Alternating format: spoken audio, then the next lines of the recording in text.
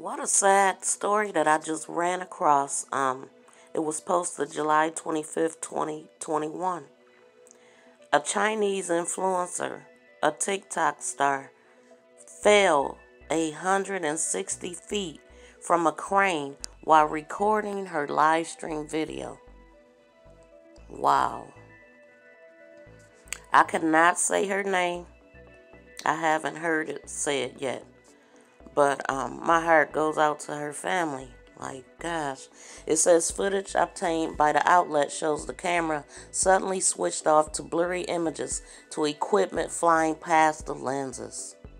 According to the Sun, the family confirmed her death, stating that she fell as a result of a misstep.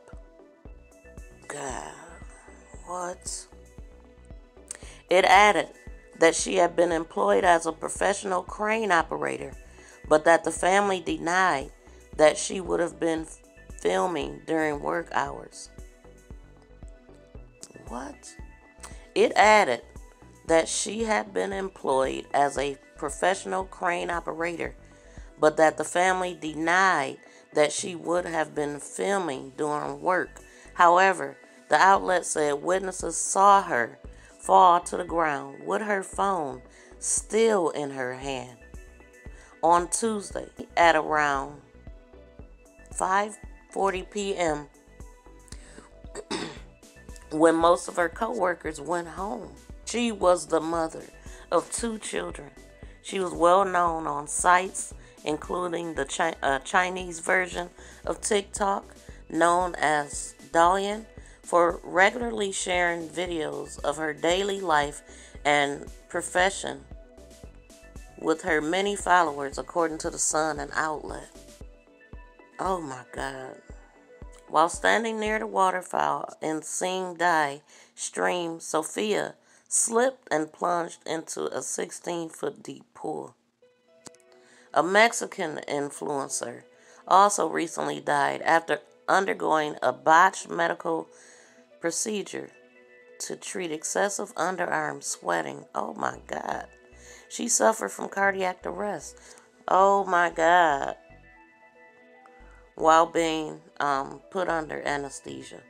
This is horrible, guys, and the most that I get out of this as a um, you're on the internet, you may be a, a content creator on YouTube, you could be an influencer on TikTok.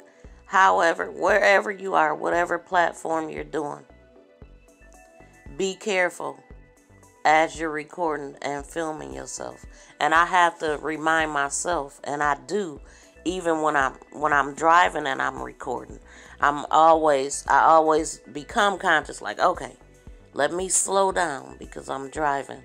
So this right here just reset me again to be more careful when operating a vehicle or doing anything while recording because number one, you are distracted a bit. Let's be honest.